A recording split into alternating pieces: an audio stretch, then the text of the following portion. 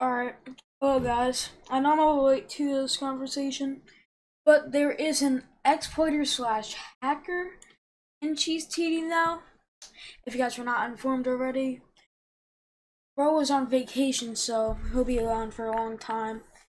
So he's been duping a lot of units. I'll like put it on the screen, like like a little tiny video on the screen right now. That like he just made 20 divine Huberts in like in the moment of five seconds. And like he can do this whenever he wants. Like it's unbeatable. And I could like slide up a picture of the cheese and gems he has, which is a ton because he's been stealing it from players with the exploit slash cheats. So he becomes the richest person in the world. I do have some information why he is doing this, and I'll put it up on the screen right now.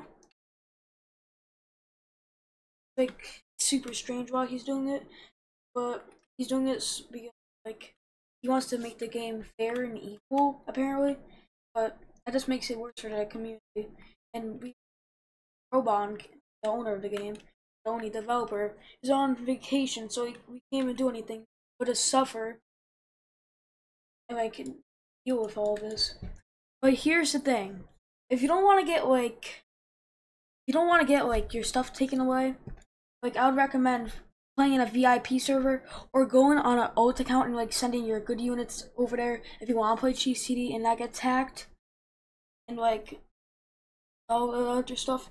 And this guy is selling units for euros. I'll select, I'll put it on the screen. Like he's selling two Juggernauts for 10 euros and four Divine Juggernauts for 20 euros. And like he's selling gems for like cheap, but I do if you buy any of these, you will get permanently banned they are saying by Robon because it's no excuse and you should not buy gems because it is cross trading.